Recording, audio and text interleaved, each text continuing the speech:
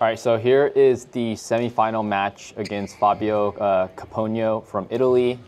Um, I remember this tournament was right before the Pan Am Games, so kind of coming into this match, my main focus was really to just not get injured. Um, and so didn't really have a lot of pressure. You can kind of see here I'm trying to dial in a little bit of my lift depth and height right there. It was a really good um, lift as terms in terms of height right there, but just a little bit out. And so I think I do get a little bit of a slow start here, um, and I believe this match does go three games. But let's kind of just talk through kind of my strategy and what I was thinking throughout this match. Here you see again another um, lift that was out. Usually in the beginning of the games, I like to kind of move the opponent around a little bit, um, especially if I know they're going to be attacking a bit, um, which you see here, he does start out pretty aggressive with a 3-0 start. See here, so he's forcing me to lift again, um, and he's taking most of the initiative on the attack here, but here I'm able to neutralize a little bit, and then I went for a net spin that um, was just a little bit too tight with, with an error. All right, so 4-0 down now. Um, again, I start with the lifts off of the service return. Um, there, off of his smash, I was able to drive it back and um, close call, but I did get the point there. All right, so here you see again with the lifts and just really focusing on defending that first smash. And you see there, he came in um, and anticipated my backhand recovery as a drop and just pressured my body, which becomes a pretty critical um, or key moment here because I have to pay attention to that for later. Um, again, just a little bit too flat on my service turn there. Um, he was able to cross um, smash me right there because it was just a little bit too flat of a lift. And so there I go with the net off the return uh, because he has been pressuring. And so you see on that um, flat exchange or flat smash from him, I was able to take it early so that um, my shuttle was going down and he had to dig for that, and, and I got a mistake out of that one. Here I am again with the lift, quality lift. He's not able to attack yet. Another quality lift, big smash. Um, kind of came to a weird area in my hip, which I actually had. I was able to cross that, but um, missed missed it on the frame just a little bit. 7-2 now. Um, here he is trying to take the net high um, because he wants to continue to attack. Um, here, my strategy was really to kind of play a box game with him, meaning I want to have most of my nets um, and blocks past that service line. Um, service error there. Got to cut those out, especially if you want to have a chance. But, um, but yeah, I wanted to play more of a box game. And then when he does play it a softer one in front of the service line, I wanted to take the net. So here you see we're both playing a little bit of a box game, just blocking pretty deep. And then there you go. See, when he hit a softer one that was in the, in it closer to the net, I went in for the net spin, which was the right decision and right move. Um, just a little bit too tight and missed it by a little bit. And so he had just missed a net spin right there um, on my cross block. And so that way, on that one instead, he went with the straight lift, um, which I ended up make, losing that point because of another mistake. But you see how players typically change um, really quickly. They adapt very quickly depending on what type of errors they make.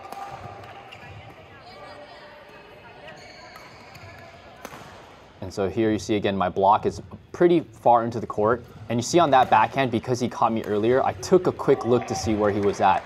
And that usually is quite helpful because it lets your opponent know that you are kind of aware of where he is, even when you're in a backhand position. So that was pretty key to back him off a little bit. and then just a little bit out on that backhand punch to his forehand side.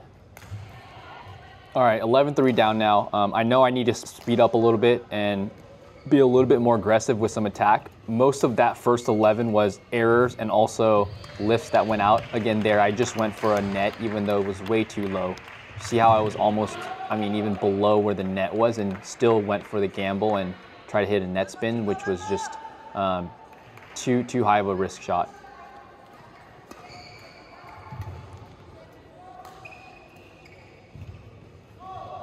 So here, a little bit more safe, more passive, playing more of a box game. And here I'm smashing a little bit more now, you see. Um, on that one, on that drive exchange, you see how on his second drive, I blocked it, which was a little bit soft. Um, and so I do want to get into a drive game with him, but I also want to make sure that I am continuing to pressure with the drives. See there again uh, with the backhand. He had caught me once already with the um, recovery drop from my backhand, and so this time I, I clear him to the back. Um, and it wasn't great, and it was also in the middle, but I was lucky to get an unforced smash error from him. See how he came in again right there? Um, but I was able to bring it very flat, almost like a half smash on that backhand. But now I am aware and I know that he does want to come in, especially when it's in my backhand corner. Flick serve, there I am with the smash. So again, I, I need to pick up the pace a little bit with the attack, um, which I definitely do in the second set. Um, this first set was definitely just way too slow of a start for me. And I thought I got him with the flick there, just a tiny bit out. Um, but, you know, I was trying to give him a, a little bit of a taste of his own medicine. So here you see I'm speeding up a little bit, giving him a little bit more pressure um, at the front. Um, again, just too tight on that block. Um, didn't really need to play it that tight. I want to keep these rallies going. You know, typically that's my style now is to get into a little bit of the longer rallies, which right now isn't really working for me.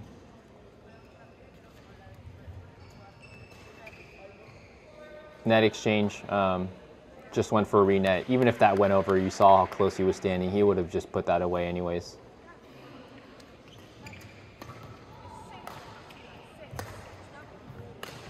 So there's a good stick smash. Um, probably the first winner that I hit from an overhead. Um, and it's good because even though I'm down so much in this game, a lot of times when you are down this much in a game, um, it's not like you're giving up, but you do want to try as much as you can to find feeling so that when you do start the second game, you can play the shots that you do want to play.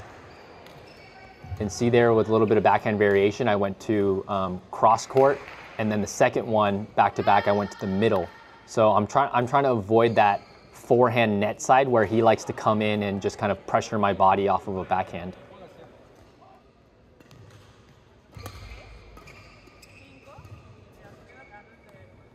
So here, just a pretty good lift. Um, dropped it right in, and this is good, right? Like I mentioned at the end of a first game, if you're down this much, you don't really want to just give it away.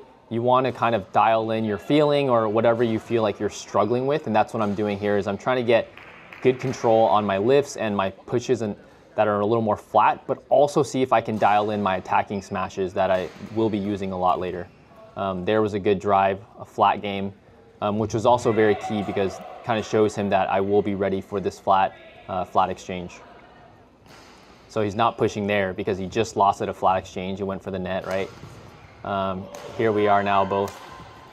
I'm just defending a little bit here, trying to get into the rallies. High net, and there I am with an attack, right? Even though I'm down eight points at this point, um, it's still important to kind of get into the style that I want to be playing um, in the second game.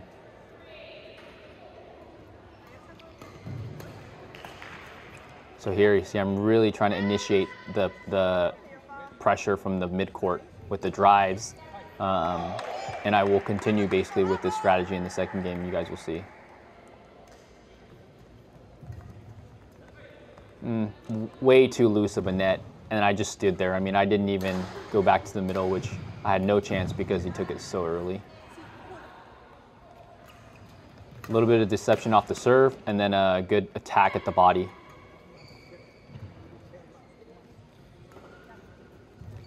Here I am challenging him at the net, right? I really have nothing to lose at this point, being down eight. He's already at 19. And so, um, off of a net spin that he hit, I took it early and really challenged him at the net.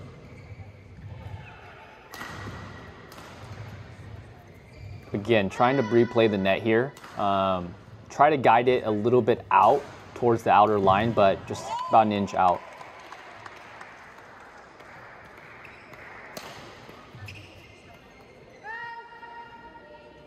And that was the end of the first set. So again, he's really initiating all of the attack here um, and getting a lot of unforced errors from the pressure that he's giving me. Um, essentially, I have to completely change up my speed the second set, right? I'm way too slow in the first set, way too passive. I got maybe one stick smash in, cross court stick smash that was a winner. Uh, and then the rest were just errors from me, um, whether they were lifts that were out. And so I know starting the second game, the main thing that needs to happen is I need to pick up my foot speed um, and be in more of an attacking and more of an offensive position, whether I'm attacking it with smashes or not. Um, I need to pick up my speed here. All right, so here we go, started the second. Let's see how, how we start off here. So you see I'm pretty aggressive on the service return right there, right away. I take it quite early, um, and I'm picking up my speed already. On the smashes, I'm trying not to block too soft here. You see almost all of them are either drives back or pretty deep blocks that are into the court. And there I went for the attack on a stick smash, um, which just went straight into the net, which is fine though. You see I'm already kind of picking up the pace here though. Again, see how aggressive I am on the service return? I take that extremely high um, on the backhand side with the cross net, and he tries to challenge me at the net, but I'm already I'm already up front, and I, I brushed that for a winner. Again, you see how he's not really in attacking position, and I'm really pressuring him with the drives. Here again, really good at the net, just taking it early. And here I'm a lot more aggressive with the attacks. And here challenging him at the net. So you see at the end of the first set, when I was down earlier, I was telling you guys that even if you're down a lot, you can really start to just try different things that you know you might want to need to might need to implement in the second set, and that was one of them. Was I knew I needed to really challenge him at the net with some re-nets. Just a bad serve, uh, very high. Um, he held it with his forehand a little bit. I was on an island. There was no way I was going to react to that.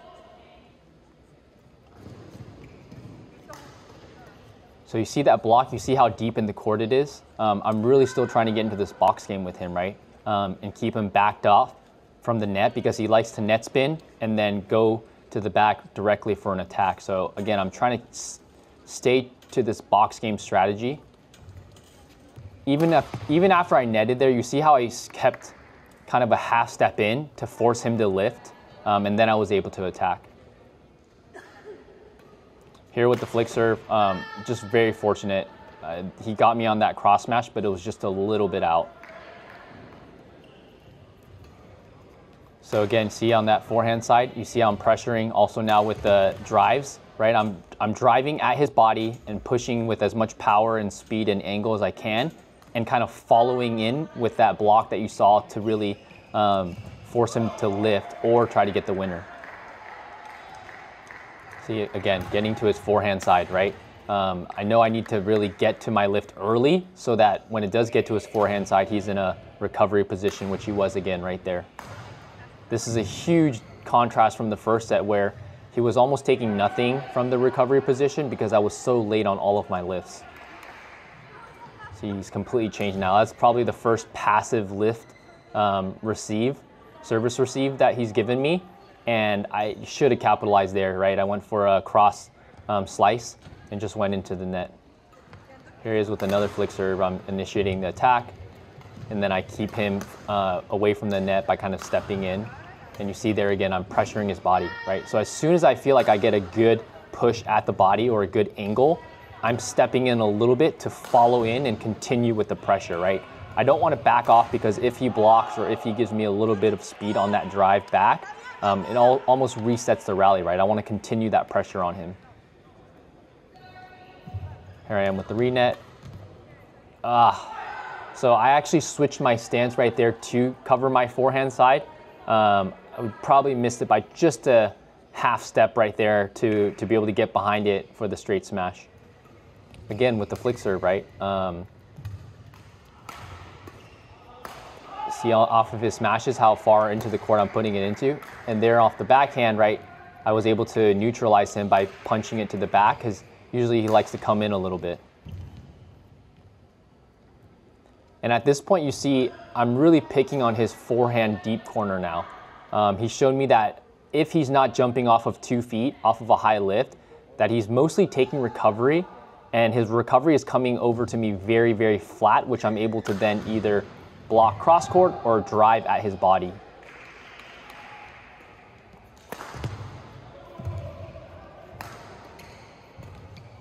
So here I'm really pushing the pace, right? Again, with, uh, again, another drive, flat drive to his backhand side. And he knows now that I'm gonna try to come in and pressure him more, and there he tried to pop it past me or over me, but was just a little bit short, and I was able to follow up with the, with the smash right there. And there you see, continuing with this drive flat, flat game, and when the soft one comes, I'm really trying to take initiative at the net, right? Um, there he got a good lift, and it was a little bit behind me. I knew right away that I should have just brought it down with another drop shot or a recovery drop, uh, but tried to punch clear it out, and it went a little bit out.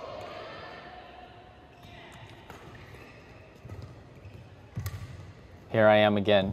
Went with the uh, straight backhand drop to his forehand side, which again I've mentioned already once. It's not the best place to play, and he was already waiting and just had a simple block, and I wasn't able to get there. So I already know that's kind of a danger zone for me, and I need to stay away from that.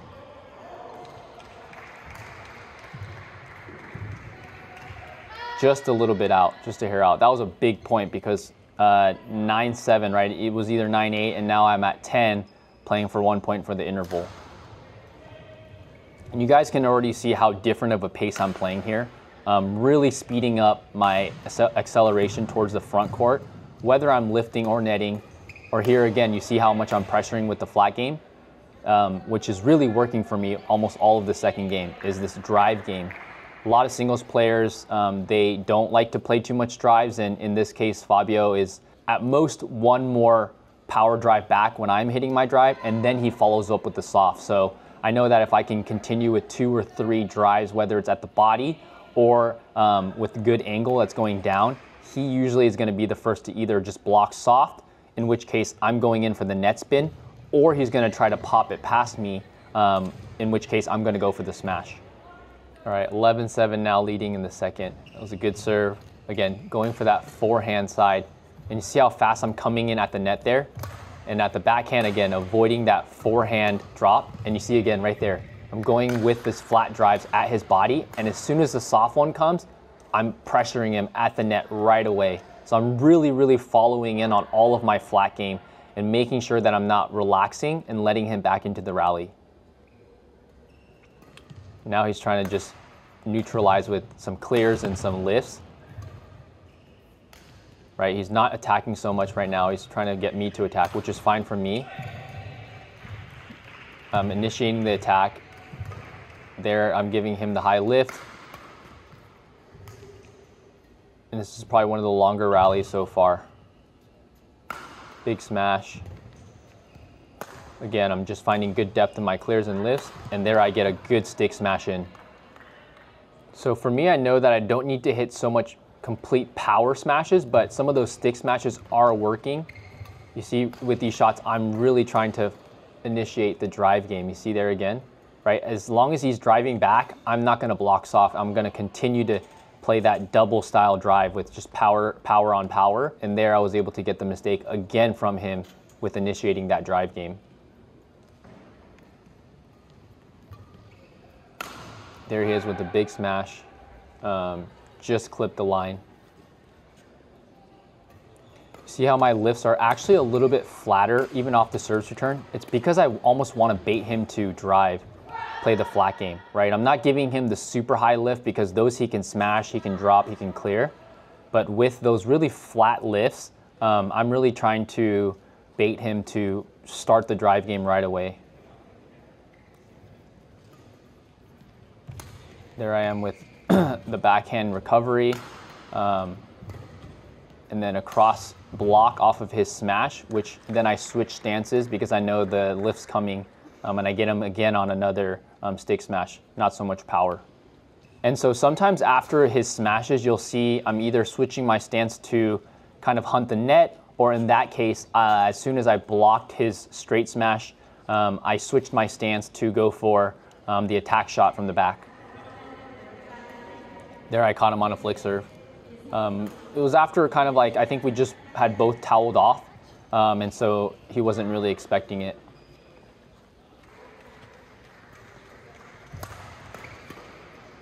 So there from the backhand side, I did more of a, a flat drive, um, which got me out of trouble, and then there again with another cross stick smash. So not so much power smash, but these stick smashes are kind of working for me, and I found a little bit of my feeling. So I want to continue to stick with these. Good service. He got me in the backhand a little bit, but I get out of it with a clear. And here I'm getting into the drive game again. See how much I'm just staying with the flat drives? I just want to stay with the deception. And there I got him with a little bit of a, a, a fake shot from the forehand, uh, sorry, from the backhand in the front.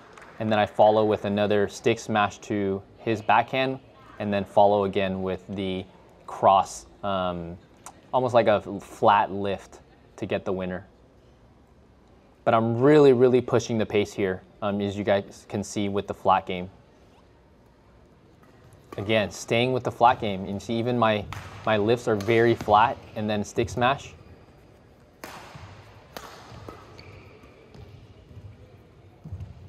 And there I am with the uh, challenge him on the renet. Um, and here I'm getting some confidence, right? Um, my feeling is good, my drives are good. Um, I feel like I'm able to take the net um, and re-net any, anything that he gives me um, in front of the service line. So I'm playing with a little bit of more confidence here, and it's, it's obviously showing and it's paying off.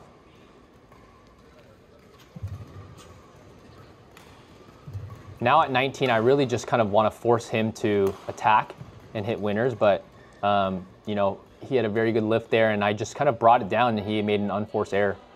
He's also kind of, um, at this point, obviously, knows it's a little bit tough to get back into this game, but um, we're both already probably starting to think about what we want to do in the third game. See, there I kind of, uh, from the backhand side, I don't want to play that forehand net, right? I want to just punch him to the back. All right, started the third game. I know I need to start aggressive again and really start with a good speed and not let him attack too much. So here I am with the net spin and going for the big smash right away, which is just a little bit out. Um, unfortunate because you know I was able to get the attacking position in this first point right away, um, but unfortunately uh, it was just an unforced error. Here I am getting him deep in the backhand corner, but he was able to get out of it and he went for a smash that was quite quite high and just went over my head.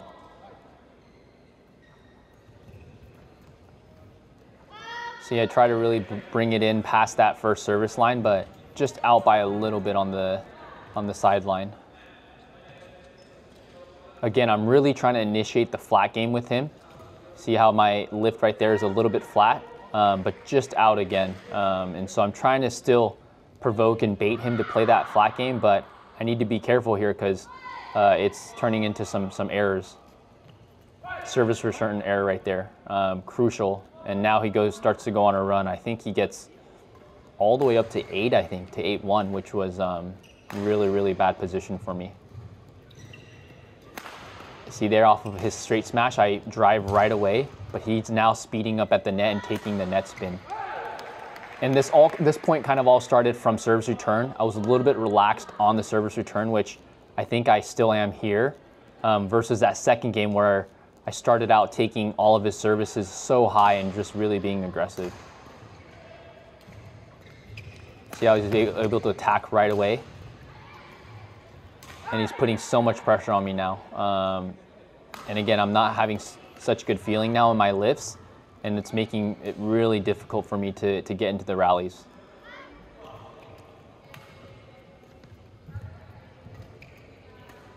Here. See, I'm just trying to get into the rally and find some feeling. Here's a good high lift, but again, out, you know. Um, it's almost like he's just drilling. He's bringing the shuttle down, he's blocking, and he's forcing me to lift, block, lift, block until I either make an unforced error or until he's able to capitalize on a short lift.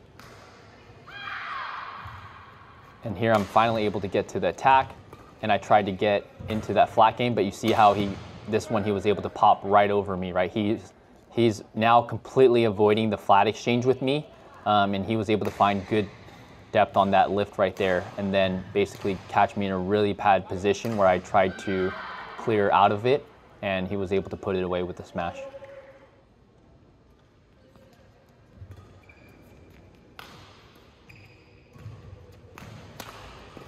See how he's playing more of a consistent game.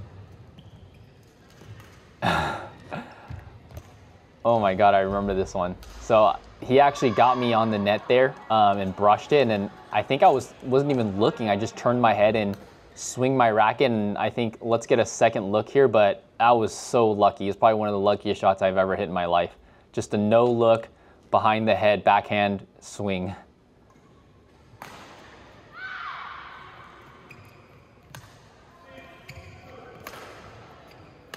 So here that cross stick smash is not really working as much now. Well, the second one worked, but the first one, he, he already knows that I'm kind of going for those. 3-8 down now. My goal here is trying to close the gap as much as I can until 11, which there I just another unforced error, playing way too tight of a net. I think it was the right shot to hit because I was so early. I did take it quite high. I mean, close to that white tape. Um, but again, just one of those unforced errors that um, comes at a bad time. And here again, service service return mistake, lifting out again. You know, I'm not really finding good enough height on my lifts because I'm trying to hit those flat ones, which are going a little bit longer out the back. And again, from the attacking side, overhead side, another unforced error. 11 3 down. I think um, that first 11 in this third set was quite a bad start. Um, I think I had three or four lifts that were either out the back line or out the side, and then a couple um, attacking errors as well, right? So this is almost kind of how I started the first set. Um, really just not the way that I kind of want to start the third set because now he's getting momentum and he's probably going to start with some more aggressive play again and some attacking play. And here I'm starting with the net, right? I've made so many lift errors out um, that one's just another unlucky bounce. It looked like it almost went over, but just kind of bounced back on my side.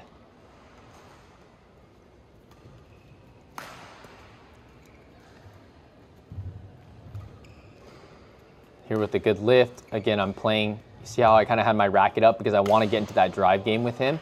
But he's smart, right? Instead of pushing or even if my shots, my blocks are a little bit high, he's just re-blocking it back because he's trying to initiate a lift from me. He does not want to get into the drive game from me, um, with me like he did in the second set.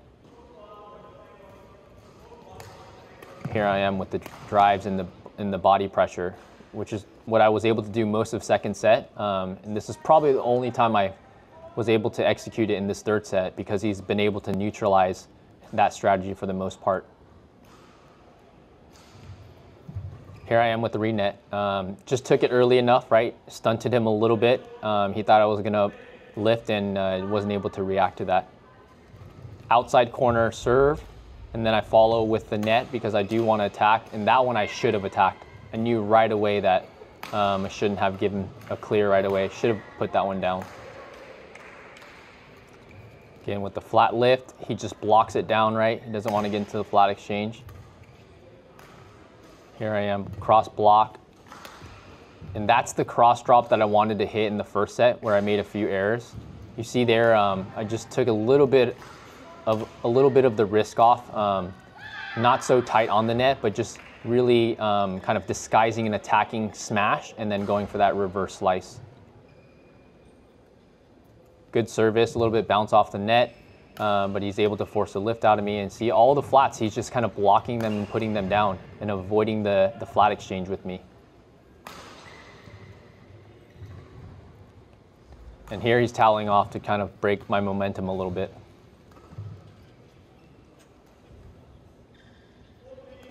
Another flick serve.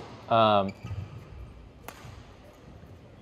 here, see, I, I go in off of the flat exchange, but he's able to get out of this one again. So I had an opportunity to put that away, but now you see he's just moving back and forth with the lifts, and I'm still trying to get back into that flat exchange. Off of his smashes, you see how much I'm putting, how much pace I'm putting onto those. That one might have been out. This is a good rally. And there again with the cross reverse um, drop shot. And you see with that one, I'm really just, as soon as it's coming to my overhead, I'm putting up my form and kind of getting into position. And that's what's really kind of uh, making him take a step back and, and kind of anticipate a smash and, and make my uh, reverse drop so effective is really being in position early. It's not so much the quality of that shot, although it was steep enough, but it's really getting in position early enough so that the opponent thinks that you are able or you might smash, and then giving them that drop shot. Here's wants a shuttle change, but um, I want to continue with it.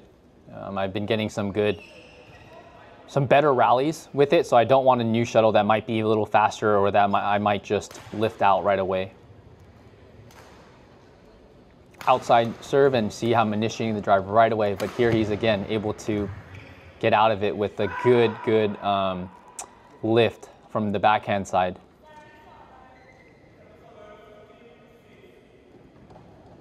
Fifteen eight now. He's just bringing it down. There, for once, he started the drive actually, um, and I knew that I needed to drive it back, but just was a weird position right over my head.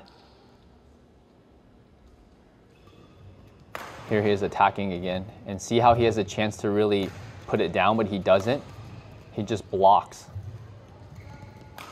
And there I'm able to switch stances and anticipate that cross lift, which is why I was able to get it so early for that straight smash. There I'm already out of position um, from the service, right? He took it very early, um, had his racket up and almost disguised a push, which kind of made me sit a little bit lower um, and then get to that lift a little bit late. And then he was able to follow up with a good body smash. So here I step in to make him uh, feel the pressure from re, re um, and then a good high lift. Again, a good high lift, but went for the cross block and just a little bit way too tight. Um, didn't need to, to be so tight right there. And at this point, I'm down, I mean, nine points, and it's, it's, it's definitely slipping away. So there again with the flatter lift, um, again, those are the type of shots that you know, I wanted to hit to kind of provoke a flat exchange with him. And that one just ended up turning into being a winner. And I think my camera stops recording here, so we are going to change camera angles from the stream.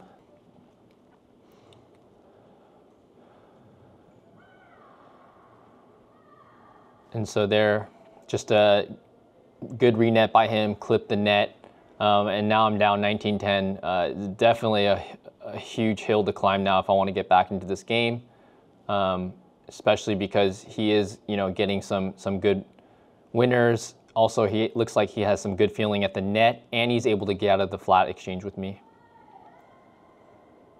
See again off of the drive, he just blocks it, and then he tries to pop it over me, which there I was lucky because it went out, but he's kind of dialed in that flat block and then lift out of my flat exchange.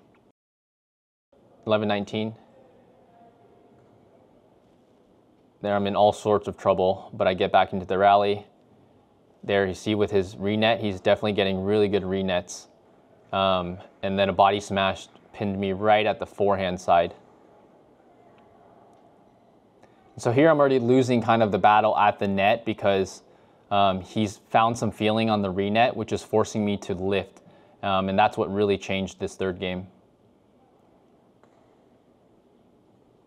There he anticipated the cross lift and switched his footwork for the, the cross smash. So just a bad start to the third game. Couldn't really find any momentum in this third um, at all. But I think I was, you know, pretty happy with the way I played this match because I know going in, um, my focus was to really just play without pressure and play loosely because knowing that you know we had the Pan Am Games the following week after, I wanted to really just stay healthy and injury free, which um, was the ultimate goal at the end of this match.